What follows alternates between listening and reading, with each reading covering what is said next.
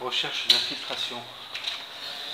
Nous allons détecter les infiltrations exactement à l'angle là. L'étancheur a effectué suite à des infiltrations une nouvelle étanchéité. Mais le problème s'est arrêté ici. On voit bien la coupure à la limite du bois et toute l'eau arrive de ce côté